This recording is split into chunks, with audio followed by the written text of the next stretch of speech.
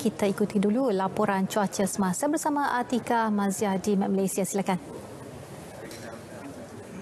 Assalamualaikum dan salam sejahtera. Kembali bersama Jabatan Meteorologi Malaysia pada petang ini untuk perkembangan cuaca yang terkini. Keadaan angin masih lagi bertiup dari pelbagai hala dengan kelajuan lemah terutamanya melibatkan negeri-negeri di pantai, negeri-negeri di semenanjung Malaysia juga melibatkan Sabah dan juga Sarawak.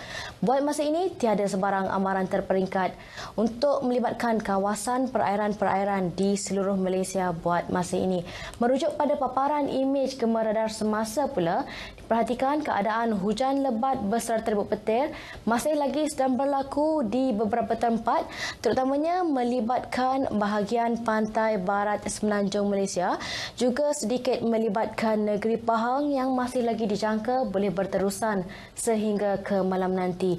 Di negeri Sabah dan juga Sarawak pula keadaan hujan lebat beserta rebut petir turut diperhatikan sedang berlaku melibatkan bahagian tengah negeri Sarawak juga melibatkan bahagian pedalaman, sandakan dan juga tawau negeri Sabah yang turut dijangkakan masih lagi boleh berterusan sehingga ke malam nanti.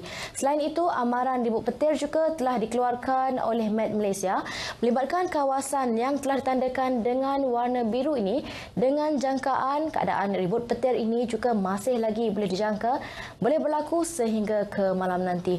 Dalam tempoh fasa peralihan monsun ini, keadaan hujan lebat beserta terbuk petir dan juga angin kencang boleh berlaku terutamanya pada waktu petang dan juga awal malam yang boleh menyebabkan banjir kilat dan juga kerosakan struktur yang tidak kukuh. Oleh itu, orang awam terutamanya pengunjung-pengunjung dan juga penjual di Bazar Ramadan diminta untuk lebih berhati-hati. Baik, ini saja ramalan cuaca yang dapat saya kongsikan pada petang ini. Untuk mendapatkan maklumat cuaca yang lebih terperinci, anda boleh layari laman sesawang kami di www.mat.gov.my atau menerusi laman sosial media kami seperti yang telah tertera di sini. Sekian dahulu dari Jabatan Meteorologi Malaysia, saya Atikah Marzia. Assalamualaikum dan salam sejahtera.